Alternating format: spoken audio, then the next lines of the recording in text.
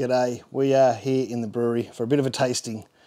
Uh, it's going to be a little bit of a different, this is a recipe video, my oat cream NIPA recipe video, but it's going to be a little bit different. Um, I was always moving towards this beer when I started with my NIPA uh, version 1 and then the Sabro tooth and then I wanted to move on to get it closer to what people are used to, at least in Australia at the moment with uh, Deeds Brewing and uh, Mountain Culture, things like that. Now, the, the, the, camera doesn't lie, to be honest. It shows colour, uh, even though these beers probably aren't quite in focus for you because this is a sensitive camera. If I touch that, they probably are. Um, like from here, from this angle, they really don't look that much different. But I know they are. There's, there's differences here. Besides their age, this has got to be six weeks old in the keg at least. And while it's looking very brown on camera, it's really weird because it, it's actually looking lighter from this side. If I take a photo from this side um, and try and get the light right,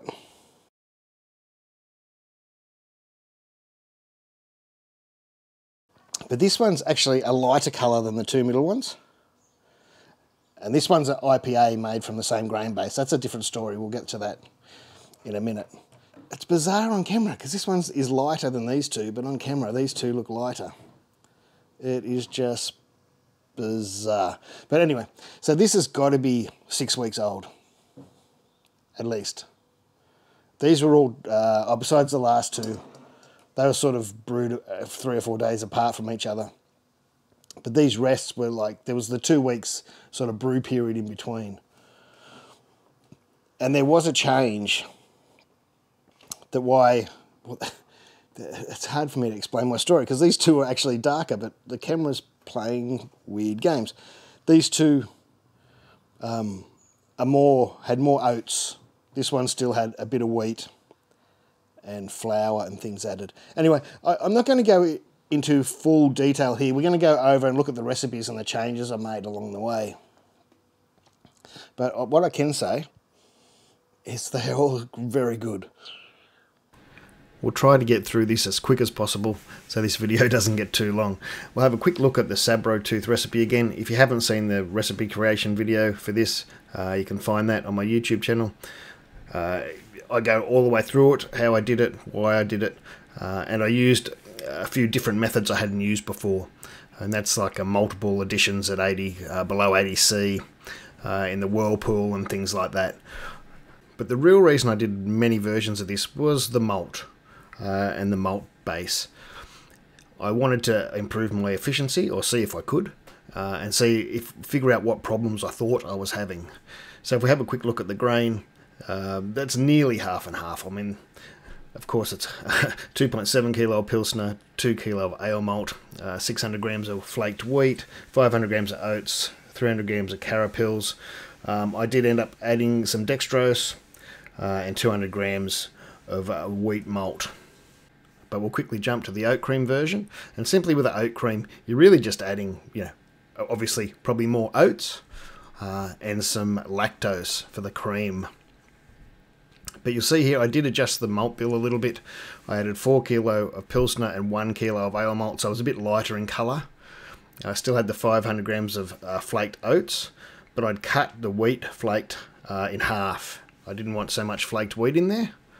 Uh, I still had the, uh, the wheat malt as well, um, but I added 200 grams of wheat flour and 100 grams of oat flour. So that I upped the oats a little bit, um, and I'd cut back the flake wheat, but added some wheat flour. Uh, this was a bit of an experiment for me. I had seen it done many times uh, when these uh, styles of beer were new, and then I did some research and found out they actually used to do it in some wheat beers as well, um, and they'd done it. Uh, was mentioned in Grain and Grapes um, an IPA video that they did. And funnily enough, I'd actually brewed this the week before they did it, so that was a bit strange. But uh, they mentioned it in there uh, to use it as well, just a, as a bit of theatre uh, and just to see how it goes. Now, some people add it to the boil. I didn't add it to the boil. I added it to the mash. So it was the mash was still uh, recirculating, and it got filtered through the mash bed. It wasn't like it was added at the end to create, uh, you know, the haze. That's that's that's not what it was about for me. It was about me um, pushing the efficiency limits on a small single vessel system uh, like the Robo Brewer Brewzilla 35 litre or the you know the smaller Gutens and things like that. Um, and it worked. Uh, it blew off my efficiency out the window. I was instead of being three or four points down like I usually get with a lot of flaked uh, malts and that I was uh, six points up. Uh, it blew me into 1.071. So my experiment worked efficiency wise. Um, but anyway, we'll, we st we'll stop there and we'll move on to the next recipe because there's a few to get through. Um, and I also, I, I, should mention, I also stopped, uh, we'll talk about the hops here. I stopped doing those multiple um, uh, Whirlpool entries. Um, I just put it to the single one.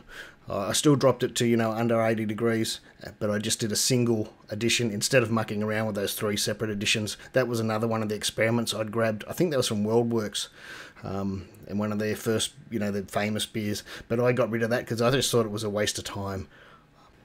What I also did at this stage, I started pushing the water profiles more.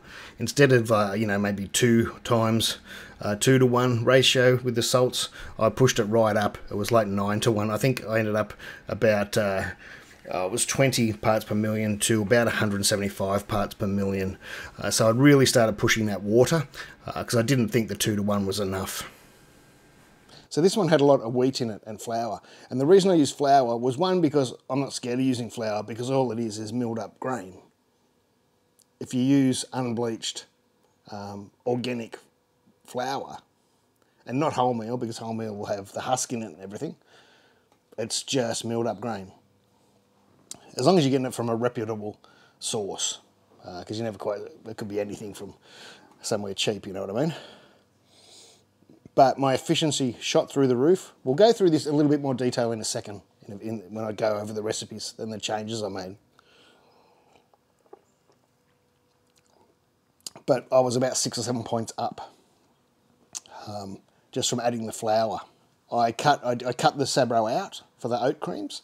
Uh, only because I think for me, people get two different flavours or three different flavours from Sabro. They get coconut, mint, and cedar.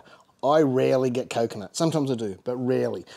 My uh, Sabro is really fresh and I get a heap of mint and a heap of cedar and I didn't want that in the oat cream. That was fine in the NIPA. I didn't want it in the oat cream. I wanted to be smoother and more gentle.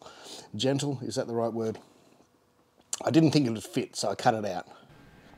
So move on to version 4. Now I did forget to mention in that last version I got rid of the carapils. Uh, I just really didn't think it was that needed. Um, maybe if you, you are commercial and you're really worried about getting that head or, or so, uh, adding something, but it's that small of addition, and I've got all that oats and, and barley and, and, and things like that, wheat. Um, I don't have to worry about head retention at all. Uh, I, I didn't find anyway. So when we look at the basic malt base, it is about 4 kilo again, 3.8 kilo of Pilsner malt and a kilo of ale malt. Now, I had a few comments that people thought I might have been my Woolworths rolled oats. Um, so I thought, all right, I'll, I'll, buy some proper ones and just see if it makes a difference. So I bought some uh, rolled oats through Gladfield, which are the Harraways and the rolled barley. And I also bought some malted oats. And if you haven't seen malted oats, I'll chuck some up on the screen and just show you. What's good about these is, uh, you know, it is oats inside it, of course, um, but it has a husk and I found I milled it really fine. I actually put it through my uh, 30 thou um, mill because I just wanted to make sure it got really ground up. Now, when I did, the husks were still intact, and I didn't wet condition these husks. So if you're having problems with flow and you want to use a lot of oats, uh, consider using these malted oats. Uh, these ones are Gladfield, as I mentioned, um, but they I, I think they really helped with the flow. Um, next time I'm actually thinking about swapping, you know, a, a higher percentage to the malted oats. Now, I think they also made the colour a touch darker, because I couldn't see any other reason why the beer would have got a touch darker. And you can see there, I still had the lactose, uh, corn sugar, and I still added the oat flour, just to keep the recipes a little bit more consistent. Uh, so you can see there, that's where I get my three oats from. Oat flour, rolled oats, and malted oats. We quickly look at the hops. I had changed uh, Amarillo, Citra, Simcoe, um, and in the dry hop, it went big. This is the one I dry hopped 20 grams per litre. Uh, I really, really enjoyed it. Uh, you, you, do have to be really, really careful with all these beers with these big dry hops and give it a, give it a good three or four day cold crash because you want all those hops out. You don't want any of them there. You don't want them to transfer them to the to the keg, is what I'm saying. Because uh, even if you like, if you're tipping up your fermenter at the end and you're getting tiny little bits of hop in, that's going to make it seem really, really bitter. Um, it really, really helps for a big, big cold crash. It depends on your fridge. You might be all right with three days. My my little fridge will take at least four days. My big fridge will probably do it in three days. You want to have a look and you want to make sure all those hops are dropped out and don't push it. Brew over the amount you need so you can leave some behind. Otherwise, you'll end up with a bitterness that you won't like, even if it is just from the dry hop. It happens. And just in this bit of footage here, you can see how much I had left over. That was just from one batch, but I had to get rid of all that. There was no point trying to transfer that. That was my waste. I didn't use the bottom jar simply because I would have wasted too much beer. And after that beer, that was where I was going to stop. I was so happy with it. I was happy with the malt. I was happy with the water profile. I was happy with the dry hop. But then I thought, hmm, I'm still, I'm still questioning myself about one, the, the little bit of efficiency drop I still get, uh, and two, people are going to ask me for no chill. So what I thought I'd do is move to the Brewzilla and do half batches. Now what that does is I, will get a lot more flow um, because the, the mash bed's thinner, it's, it's more spread out. Uh, but the trouble is, yeah, a little bit less sparge because I'll be using 30, something like 30 litres uh, to mash in. So I'll only be sparging maybe 7 litres uh, but I thought I had to try it. So I threw it in to the 65 litre Brewzilla and off we went. Now the mash was a lot easier, of course. Uh, no, I didn't have any issues with the flow or anything like that. Uh, it all went pretty smoothly. I did have to change um, the whirlpool amount of hops. Now this is where you got to be a little bit careful. Now I don't uh, agree with no chilling um, beers that you've chilled below 80 degrees. Um, uh, you know, by the time you've finished your whirlpool, you know, you know, it might be 70 degrees, and I've had that many messages from people that get infections. It is not funny. So I wouldn't recommend anyone do it, even though I know there's probably many that get away with it. Uh, so what I did, I dropped it down uh, to about 95, just naturally whirlpooling let it go. It only took about five minutes to get from you know end of boil down to 95. That's without chilling, just whirlpooling and natural cooling. It took about five minutes. I threw the hops in, and then I watched the temperature. And once I saw the temperature getting down to about 85 degrees, I stopped the whirlpool and I cubed it. And then I knew it was going into the cube at over 80 degrees. That made me happy, and it made the wort happy. I didn't get any infections, and everything was fine this recipe did turn out, apparently on paper, about 40, about 10 IBUs or more um, bitter than the last recipe. But via tasting next to each other, uh, I'm not sure it actually did end up that much more bitter. Um, there really isn't that much difference in taste. Uh, and even say it did technically get there, uh, that's still well within the realms of even uh, you know the, the, BJCP um, styles or, or, what they're thinking about making a permanent style, it still fits in that range. You'll see there's different hops here. I was mucking around with some experimental hops of HPA, which is now called something else, um, and I had uh, some Zappa there and a few other hops that I played with. I'm not sure why the days of dry hopping didn't show up there in that Beersmith recipe, but I'll make sure that's adjusted when I upload the recipes. When I moved to these two, well, these three really, I cut out the wheat.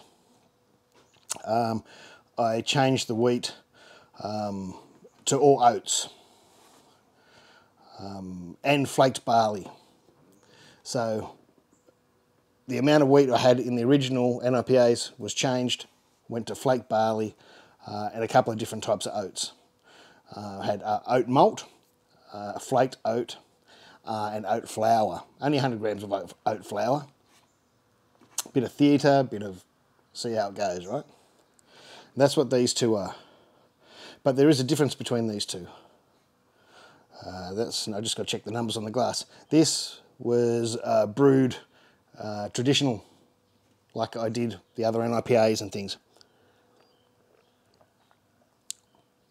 I did change the hops slightly on all of these just so I wasn't too bored. this is this is version six. So I didn't want six kegs of exactly the same beer where I'm the only one drinking them. Um, but that one's very close. Now this one was a no chill. So if you hear um, and you go, oh, he's not going to no chill. This is a no chill recipe. And as you can see, they look the same. This, I did use different hops. Not because it was no chill, just again to change the hops, you know, to make a difference for me because I have to drink it. I did reduce the hops in the whirlpool, um, and I reduced the dry hop, but that oh, because I missed it. This one had uh, 20 grams a litre dry hop. I was copying what some of the big breweries do, and it worked. It worked sensationally well. Now they've all been in the keg a few weeks. Whether that 20 grams a litre made a difference, it did at the start, and I think it does to the flavour. But as far as the aroma goes,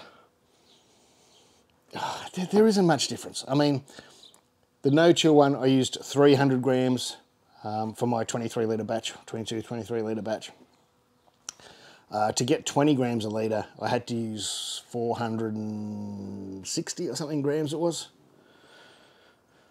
So the difference really isn't that much. So I reckon if you stick to about 100 grams or 150 grams first dry hop and 150 grams, 100 grams second dry hop, you're probably going to be okay. You don't really need to go as insane as I did in this beer, even though it is a good beer. Finally, we get to the last and the IPA version. I did it again in the 65 litre. I totally swapped the water profile around. As you do, you don't want a multi profile, you want a hoppy profile. So I added, uh, raised up the uh, calcium sulfate and lowered the chloride but as you can see, uh, 3.8 kilo of Pilsner, 1 kilo of ale malt, uh, the rolled oats are there, the rolled barley's there, and the malted oats are there, and I still use that 100 grams of oat flour. And I think you'll see in that final beer that that, that beer's going to clear up crystal clear. So that, you know, it's not the oat flour added to the other recipes that gave it that, that, that look. It's got nothing to do with that. And of course, this one I tried to make a little more bitter. I could have actually pushed it a bit more. Um, I, I, made it to about 60 IBUs. Um, in that big beer with that big malt base, I think I could have pushed it a bit more. At least to 66, maybe maybe maybe 70 IBUs. I even think I could have went a bit higher. But uh, you can see there, I was mucking around with the new hops again, uh, BRU-1 and HPA-016, which again, is it Calypso, the new name? Something like that. It's got a new name. It's just been sort of released. Eclipse, Eclipse, that's its new name. So if you see Eclipse anywhere, um, that is the HPA016 that you'll see in some of my recipes. Now this last one here is exactly the same malt bill as this one and this one, except it hasn't got the lactose. And did I add the flour? I can't remember if I had the flour. We'll, we'll talk about that when we get to the recipe, we'll see. Oh, maybe I did. I think I did add the flour. But the only thing I didn't do, I used uh, a different yeast. I actually used Kolsch yeast in this. Um, I was going to use Verdant or USA5, but I had the Kolsch yeast there after a brew I'd just done, so I thought I'll just use the Kolsch yeast.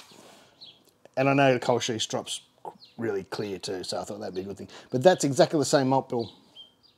It still hasn't quite cleared yet. It's got a bit of chill haze. Um, I made the mistake of uh, when I uh, chilled it and put it in the fermenter, I should have waited for the cold break to settle out and removed it, and that would have got rid of a lot of the chill haze. Because uh, if I let this warm up, I'm not going to right now because I'm a bit busy. But if I let, if I let that warm up, it's nearly crystal clear. So it's it's chill haze, and you can reduce chill haze. I should do a whole video on that. Um, but if you cut out the cold break out and those sort of proteins out, that'll really help with your chill haze. Uh, and this was only dry hopped once, um, you know, at the end of the ferment and I think I used 200 grams. Uh, this was, again, different hops, Brew uh, Dash 1 and HPA uh, 016. and I didn't chill it for the um, whirlpool. I didn't cool it down any. Um, and I really didn't for the, that this no chill one either. Uh, we'll, we'll, get to the details. Uh, as I said, I don't think I'll show. You've seen me how I do. I, brewed it nearly the same, exactly the same as the Sabro Tooth. Um, for the last couple, uh, maybe the last three, I moved to the 65, a single batch in the Brewzilla 65 litre. The reason there was um, I, I, I, keep going to say I struggled with efficiency. Um, I didn't really struggle with efficiency. I was down points, right? And I'd get that every time I use a lot of flaked oats, or flaked oats, or flaked any ingredient, wheat, oats. Um, and it looked really bad when I was in Brewfather. Now, because I, I'd only have, I hadn't changed my single single batch profile in the 65 litre over to Brewfather yet. I've got a double batch one, or you know, or, the, or full batch, but the half batch one is different.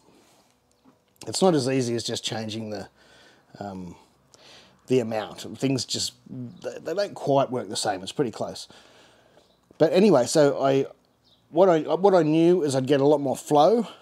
Um, you know, you don't struggle with a the, with a thick uh, grain bed. Grain bed's thinner. It doesn't matter that you got so much oats and things. You get a lot more flow. Uh, you do get less sparge, so you'll lose efficiency on the less sparge, but um, you probably gain it from the better flow you have through the grain bed and that too. So, but what I found out in the end, they nearly came out just about level. Um, I really didn't uh, gain any efficiency from doing it. It was an easier. It was. It was an easier brew day. Um, but as far as efficiency wise, I really didn't gain much. What you probably could do is sparge a bit more um, and then boil for 90 minutes instead of 60 minutes. So that would give you another, uh, you know, three, uh, two or three litre sparge, uh, which would get, probably bring your numbers up a little bit. People will, of course, ask me my favourite. I really don't have a favourite. I think for a while there, yes, the 20 gram a litre one, a dry hopped, was my favourite, but that'll be a very dangerous beer uh, to brew um, for beginners. All these beers are hard for beginners. The IPA, not so much, but the rest are. And IPAs are hard, uh, especially if you bottle. I've said it again and again, but people sort of uh, tend to gloss over that bit. And, and I know a lot of people, and I'm not knocking them for trying, but have tried this for their first or second brew, and it's a hard brew. It's a hard brew. Two hardest brews to brew right is probably an NIPA and a Helles, or a really light lager or Pilsner. So I think that will do for my series of NIPAs this time. I've done a few last summer, I've done many last summer, but I've gone hard this time this year, and I think I've nailed it. I think I've nailed these ones. They are good. They really are. Oat cream NIPA, oat cream NIPA, no chill oat cream NIPA, IPA made from the, exactly the same malt base as that. I was inspired by the Garage Project, Jekyll and Hyde, where they did the same thing, NIPA and IPA with the same malt base. G'day, I'm just going to jump in here because this video is going way too long and obviously the brew day footage from the videos isn't going to fit on the end of this video, it'll be way too long. So I will edit together. I'll probably do the no chill one because um, this recipe, uh, brew day, can fit into the same sort of brew day as the Sabro tooth exactly. Um, and the no chill one will take into account the single version in the 65 litre um, plus the no chill all in one video. So that'll work. Again, I know I might be going over these things again and again. Your water's important. Your water's important. Um, in Melbourne, at least, I probably wouldn't even have to add any of the sulfate, sulfate into the water. I think I added less than a gram for a whole batch. Um, but bump it right up, bump your calcium uh, carb right up because you're going to need around, I've been going about 20 to about 175. Somewhere around there is easy for me to do without having to mess around too much. Hops, use whatever you want. Grab your favourite can from Deeds or from, from, from wherever uh, doing NIPAs and use them hops. You don't have to use the hops I'm using. not at all. Um, of course, do take some reference. Uh, some will clash or some, you know, you might not like it. Some people like that mix of hops, some people like a single hop.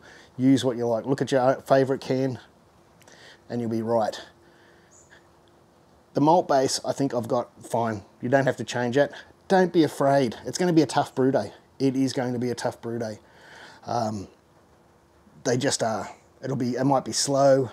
Uh, it sort of depends on your system, but you know it's going to be a tough brew day. Uh, don't be afraid of Dex or sugar topping up with. I'd rather do that than straight light dry malt myself. I, I know other people think different, but sugar or Dex is much better, cleaner, um, and you should probably only have to add mate, two or three hundred grams. It's really nothing. And if you have a look at these cans here, look, it's in all those beers. So, you know, don't be afraid of using it. Yeast. Yeast I used, oh, which I didn't really mention through this video. I used lots of different kinds. Uh, first one was London Fog. Uh, the first Sabro Tooth, like the second version of the Sabro Tooth, I should say, was the Lallemand East Coast uh, NIPA yeast. To me, that was the worst performing. It, it ferments really well, but um, it dropped clearer um, more than any of the others did.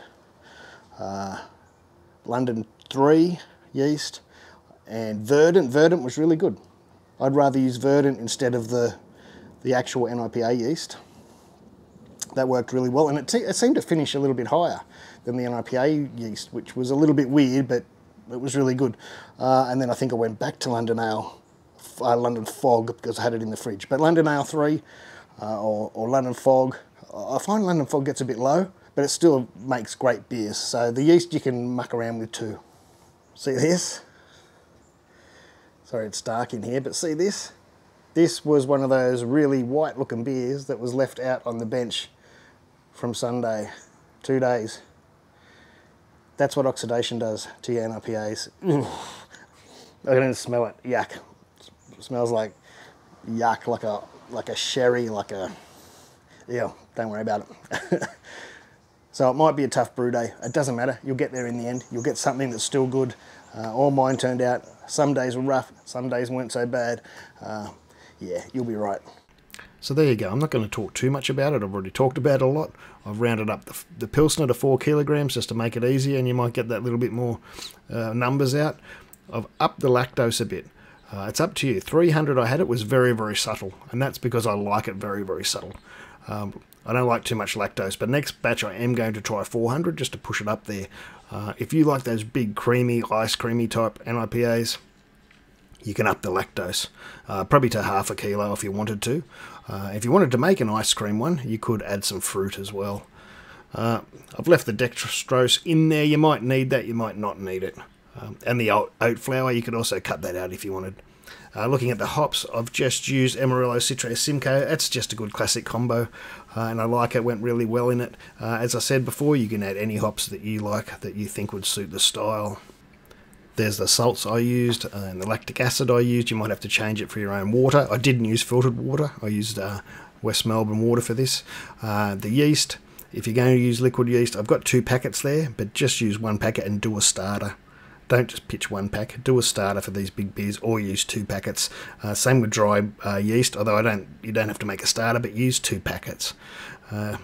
It'll just help. It'll help a lot. Uh, primary ferment at about 19, 20 degrees uh, for about a week. It takes mine a week to seven to eight days. I'm done. Uh, that's about it. We'll see you in the actual video of me brewing one, and we can talk a bit more about it. Anyway, that will do me for today. Look out for the video soon. It'll be in a couple of days of probably the no chill one, maybe the other one as well. I'll get them all done. Uh, it was just been flat out going through the six different versions of brew footage. I thought it all fitted into this video and it's just not going to happen. Uh, so like, subscribe, share. I hope you've learned something. I hope I haven't confused you too much um, with, with, showing all the different recipes. But uh, thanks very much. Thanks to my Patreons because without them, these videos couldn't happen. Cheers.